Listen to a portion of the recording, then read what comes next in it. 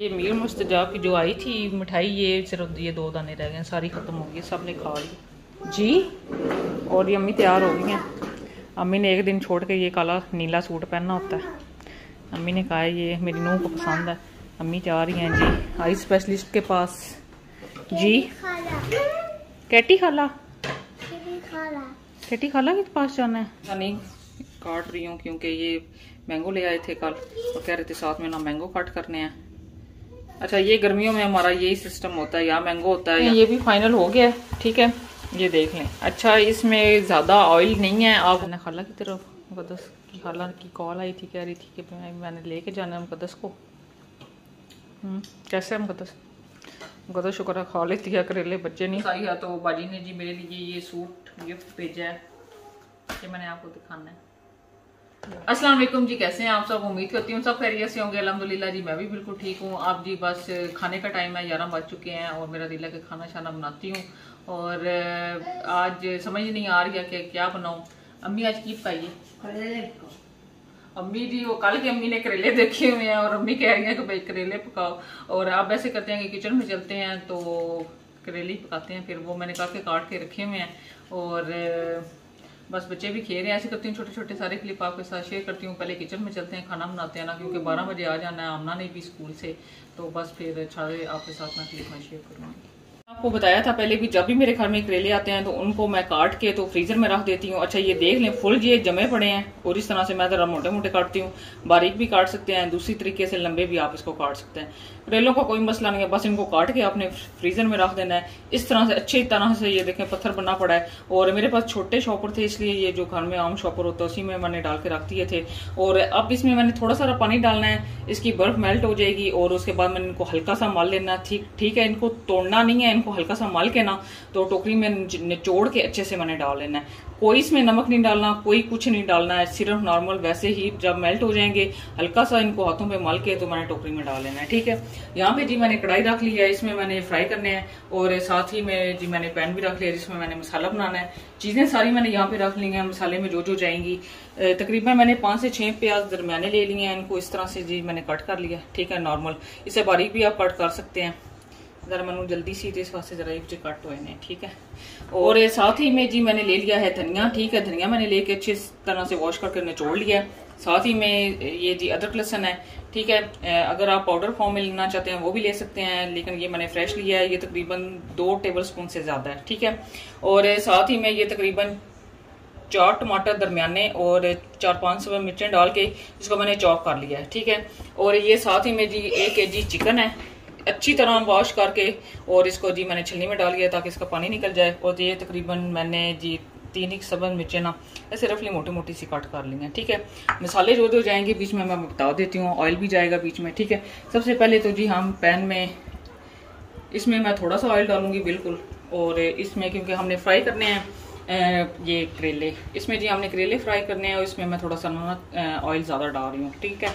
तकरीबन एक कप इसमें डाल दूँगी और इसमें मैंने एक कप से भी कम मतलब चौथा हिस्सा ना एक कप का, इसमें मैंने ऑयल शामिल किया है। बिल्कुल थोड़ा सा रमाइन डाला है। ठीक है, अब ये जो प्याज हैं, हाथों के साथ इसको आप एक एक ऐसे दाना कर लें। मतलब कि ज़्यादा वो नहीं। और ये जो हमने मसाला बनाना है ना, इसके अंदर, ये जो हमने मसाला बनाना है, इसके अंदर तकरीबन सिर्फ़ ये आप कर लेना। ये डेढ़ एक मुट्ठी ना, इसमें मैंने डाल देने हैं। ठीक है ये देख एक मुट्ठी डाली है और ये हाफ़ मुट्ठी ना, ये सिर्फ़ मैंने इसमें प्याजों की डाल दी है। अच्छा इसी तरह से कट करके डालने हैं, ठीक है? और मैं चॉप करके नहीं डालती हूँ। अच्छा मैं जो, जैसे मैं रेसिपी बनाती हूँ, मैं वही चीज़ आपके साथ शेयर करती हूँ। आगे आप उन जो करना चाहते हैं, वो आपकी अपनी मर्ज़ी होती है, ठीक है? कोई ज़रूरी नहीं है कि जो मैंने अगर चॉप नहीं किया है तो आप चॉप नहीं कर सकते हैं। लेकिन जिससे अच्छी लुक आती है या जो रेसिपी होती है ना, वो मैं फिर आपको बता देती हूँ। आगे आपकी अपनी मर्ज़ी। होती है, कुछ कोई चीज़ ऐड करें, कोई चीज़ ना ऐड करें। ठीक है? अब जी, हमने ऐसे करना है इसको फ्राई करना है प्याज़ों को।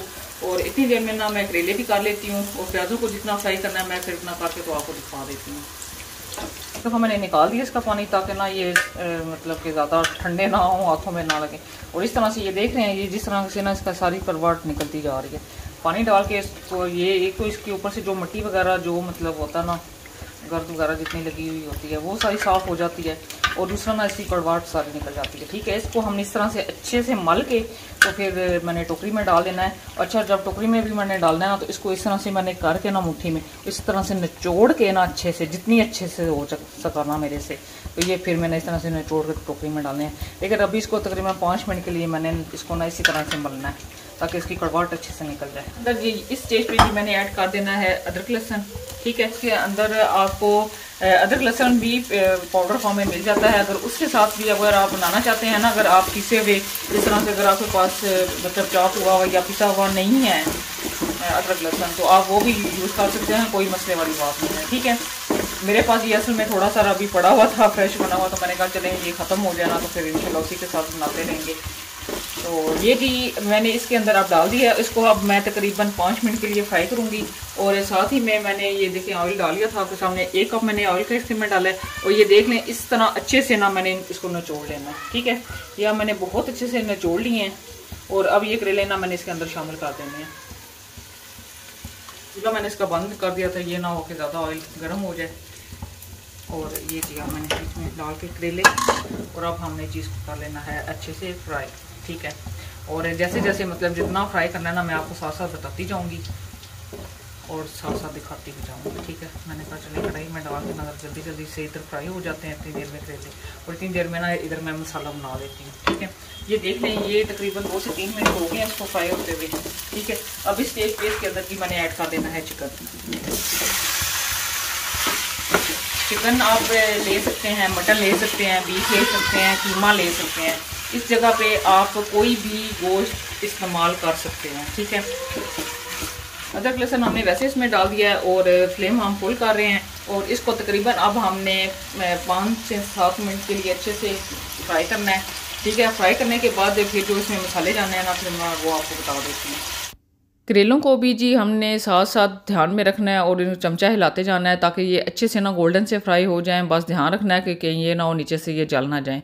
अब जी स्पाइसेस की बात करेंगे तो दस स्पाइसेस यहाँ पे मैं इस्तेमाल कर रही हूँ। इस तरह के वुडन रैक में आपको ये मिल जाएगा और ये शीशे की बोतल होती हैं, आपको सारी चीज़ें पिसी हुई मिल जाती हैं, ठीक है?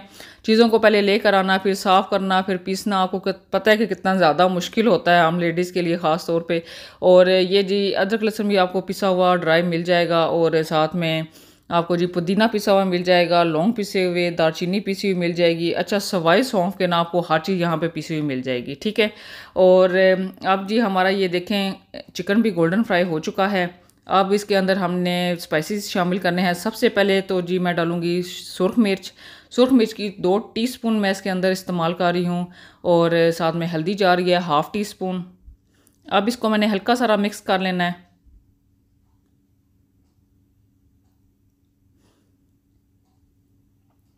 ताकि ना हमारा साथ साथ में ना स्पाइसेस जो हैं वो भूनते जाएँ। ठीक है, अब इसमें जा रहे धनिया पाउडर। अच्छा एक भर के मैं टी स्पून डाल रही हूँ, तकरीबन आप कर लेंगे वन टेबल स्पून ना मैंने इसके अंदर धनिया पाउडर की डाली है। खुश धनिया पाउडर। और साथ में पिंक सॉल्ट जा रहा है, तकरीबन दो टीस्पून ना मैंने इसके अंदर पिंक सॉल्ट डाला, क्योंकि हमने करेलों के अंदर जब हमने मले है ना, उसके अंदर हमने नमक शामिल नहीं किया था। ठीक हो गया? अब वो शामिल करने के बाद, अब इसको हल्का सारा मैं मिक्स कर लूँगी। इसको जी अच्छे से मिक्स करने के बाद, अब मैं दो से तीन कूंट इसके अंदर पानी के शामिल करके इसको अच्छे से मिक्स कर लूँगी। इसमें मैंने लेमन का जूस भी ऐड करना है जैसे जैसे मुझे चीज़ें याद आती हैं, मैं साथ साथ में आपको बता देती हूँ। और अब ये टमाटर और जो समझ मिर्च मैंने की हुई थी ना चॉप ये मैंने इसमें शामिल कर दिया, फ्लेम मैंने फुल कर दिया है।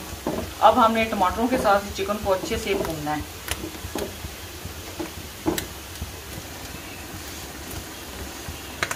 साथ ही में आज मेरा देसी घी भी हुआ हुआ है, ख़त्म ईद पे बनाया था और डेली के इनके लिए पराठे वगैरह बनते हैं।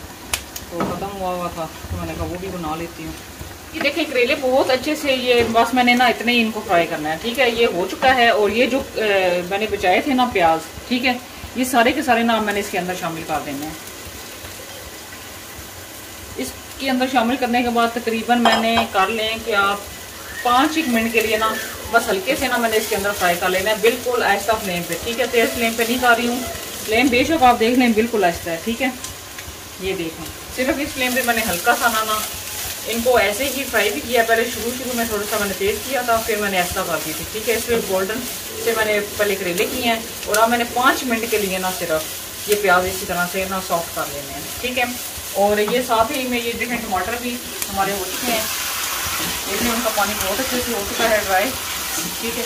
और इसको जी अब मैंने, इसमें डालना है पानी। अच्छा पानी तकरीबन मैं एक कप इसमें पानी का ऐड करके ना ऊपर से ढक्कन रख के मैं गोश्त को गिला लूँगी। ठीक है गिलाने के बाद ना फिर मैं आपको दिखाती हूँ आपने इसके अंदर क्या क्या चीज़ें शामिल करनी है। ये जी देखें, इब्राहिम तैयार हो गया। इब्राहिम, तैयार हो गए आप? ये जी मलक साहब आ गए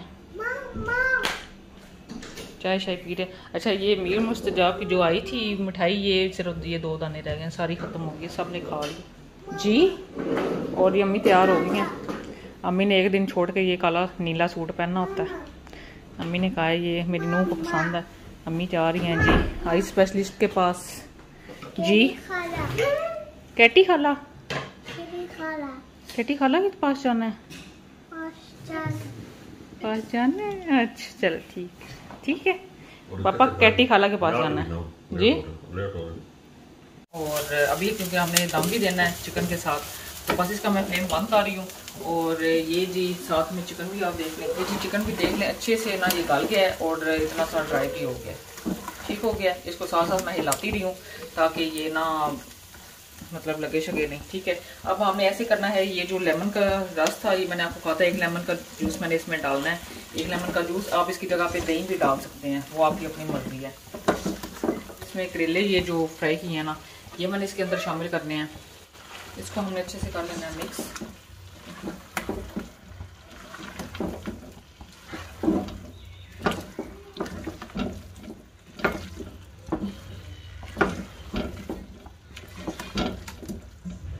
और अब इसमें जो मसाले जाने हैं, वो भी मैं आपको बता देती हूँ। ज़्यादा नहीं डालूँगी, मैंने आपको आगे भी बताया हाफ़ टी स्पून इसमें डाल रही हूँ मैं गर्म मसाला। और साथ में जी वन टीस्पून मैं इसमें शामिल कर रही हूँ खुश कसूरी मेथी।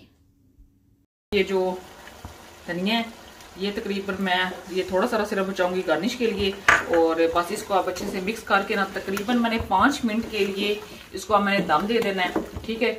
और अगर आप, जैसे कि कई लोग तो बहुत ज़्यादा ड्राई पसंद करते हैं और कई लोग मतलब बीच में ना ऐसे थोड़ा सा रहना जैसे वो रस मिसा सा होता है ना, ऐसा पसंद करते हैं।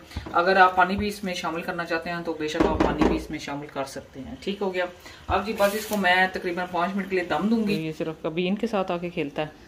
ये सारे इसने स्टफ़ टॉय इकट्ठे किए हैं। इतना कोई खूबसूरत ना हो ये देख लें ठंडा पानी पी रहा है ये। डॉक्टर ने मना किया वैसे ठंडा पानी पीना। इधर देखो ना जरा। लंबी जुल्फों वाले। ये देखो। अब इनमें से पता नहीं क्या ढूंढ रहा है और इसके हाथ लग गई है ये आमना की और इस हाँ इसको तो अभी को नहीं पता। ये जी आमना के हाथ लग जाती है क्रीम तो ये खुद भी ले लेती है और साथ में इसको भी देती है। ये देखे ना जरा। इब्राहिम, इधर देखो। इब्राहिम, इधर देखो। और ये देखें जो इसको जो क्रीमें लगाने के शौक आए हुए इब्राहिम, इधर देखो। ये देखो इसका फेस और इस मियाँ को देखो ना। ये क्रीम लगा के और लिपस्टिक भी लगा के आ जाती है। ये देख।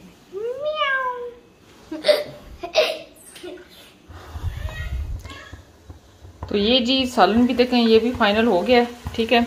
ये देख लें। अच्छा इसमें ज़्यादा ऑयल नहीं है, आपको नज़र आ रहा होगा। क्योंकि हमारे घर में वैसे कि मैंने आपको आगे भी बताया, इतना ज़्यादा ऑयल नहीं खाया जाता है। और मज़े की बात यह है कि ये इतने मज़े के बनते हैं और कड़वे भी नहीं होते हैं कि आमना भी आराम से ये खा लेती है, इब्राहिम भी खा लेता है, ठीक है? तो अब ये बस जी फाइनल हो गए और अब इसके अंदर सिर्फ़ ये मिर्चें और वो धनिया डालना है तो आप इसको जब डिश आउट करना ना तो फिर मैं वो चीज़ें इसके अंदर ऐड करूँगी और अगर आप इसके अंदर थोड़ा सारा ग्रेवी रखना चाहते हैं ना तो हल्का सा आप, मैंने आपको जैसे कि बताया था कि आप पानी इसके अंदर शामिल कर सकते हैं। ये जी इब्राहिम को देखे। जी चुपनी वाली को देखी? इसके अभी बाल कल गिलास में कट करवाने हैं। अच्छा मैं बना देती हूँ। पहले खाना खाते हैं ना। ये जी, मैंने कहा पहले रोटी बना लेती हूँ। और अभी सालन वगैरह मैंने नहीं डाला अच्छा वो घी भी देख लें। मैंने जैसे कि आपको दिखाया था कि चाँद रात को बनाया था, देसी घी। और देसी घी ख़त्म हुआ हुआ असल में मैंने चिंतन की ओर से भी मंगवाया था। तो वो अभी तक आया नहीं है मेरा ना। तो फिर ये मैंने कहा बना लूँ, क्योंकि बनाना होता है, आपको पता डेली का नाश्ता, बच्चों के लिए। और लाजमी देसी घी बच्चों की खुराक में शामिल किया करें, ठीक है? जी, बस रोटी वगैरह भी साथ में बनाऊँगी और साथ ही मैं ये जी, फिर मलिक साहब आते हैं ना तो फिर करती हूँ सालन वगैरह डालती हूँ, क्योंकि ना वो अम्मी को दिखाना था डॉक्टर के पास और मलिक साहब उधर लेके चले गए अम्मी को। और बस वो अब आते हैं ना तो फिर इंशाल्लाह सालन वगैरह गर्म करके फिर डालूँगी। मैं कहती हूँ रोटी बना के आठ पट में रख देती हूँ, इब्राहिम को भूख लगी हुई है। मेरा दिल आते जाते हैं ना, इसका मेरा दिल है कि चिकन और जो कद्दू पड़ा हुआ है ना, सालन, वो गर्म करती हूँ। पता नहीं ये ये करेले खाता है या नहीं खाता, क्योंकि अभी गर्मियों में हमने फ़र्स्ट टाइम आज बनाया है। तो बस अब रोटी वगैरह बना के साथ में, अभी साथ में चाय भी बनानी है। सिर्फ़ ये डालूँगी इस तरह से। अच्छा ये मैंने डाली थी तो सबको अच्छी लगी थी। कहते हैं कि इसी तरह से भाई डाला करो, क्योंकि ना ये मतलब खानी ईजी होती है, ठीक है? और ये बहुत थोड़ा सारा धनिया डाल दिया, बस। ये जी है करेला चिकन की फाइनल लुक ठीक है? और जानी, काट रही हूँ क्योंकि ये मैंगो ले आए थे कल। और कह रहे थे साथ में ना मैंगो कट करने हैं। अच्छा ये गर्मियों में हमारा यही सिस्टम होता है, या मैंगो होता है, या खरबूजा होता है। कभी मलिक साहब का दिल करे तो तरबूज भी होता है, ठीक है? और ये इस तरह से ना कट करके तो मैं रख देती हूँ। तो फिर जैसे जैसे जिसने खाना होता है। अच्छा इसके अलावा बिल्कुल भी नहीं खा। काट के नहीं ना देने तो कुछ भी नहीं इन्होंने खाना। अभी आपको पता है कि फ्रेश आया हुआ है तो इतना खास है भी नहीं मैंगो तो मैं कहा चलें थोड़ा सा काट के ये भी रख देती हूँ। ठीक है, थोड़ा सा सैलेड भी साथ में बना लिया है, रोटी भी बन गई है। और ये जी यहाँ पे जी, बच्चों की थोड़ी सी दही डाल के रखूँगी, क्योंकि इब्राहिम करना, जैसे कि मेडिसिन वगैरह ले लेके ना गला हुआ पड़ा है, ऐसे इतना सारा जैसे बच्चों का मुँह हो जाता है ना, स्वेल हो जाता है, और ये जी साथ में लस्सी भी बना दिया बस आप ऐसे करती हूँ, प्लेटें वगैरह रखती हूँ, और ये देसी घी भी बन गया, ये भी देख लें। आज असल में ज़रा थोड़ी सी एहतियात नहीं की तो थोड़ा सा ना नीचे लग गया ये। नॉन स्टिक देश की भी नहीं थी, इसलिए। तो बस आप सारी चीज़ें ना बाहर रखती हूँ, और फिर आपके साथ क्लिप शेयर करती हूँ। सही है ना मी ऐसे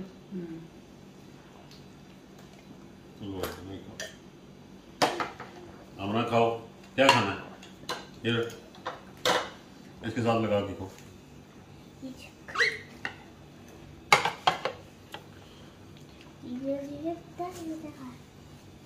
बड़े में सही। अच्छा बोलो। इब्राहिम के बालों में हाथ ही मार दे कोई हमदर्द। हम्म। कटिंग करानी है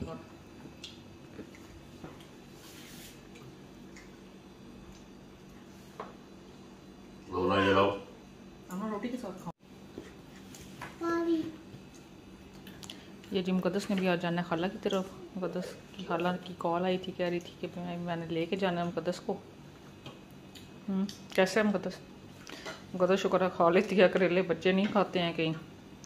लेकिन मुकदस खा लेती है। और ये जी अम्मी की फरमाइश पे बना हालाँकि ये देखे ना मैंने था कद्दू और चिकन। पड़ा था मैंने कहा आज यही चला लेंगे लेकिन फिर बनाया। आमना की ये नहीं बुकाई है और ये जी खाने के टाइम पे भी ना।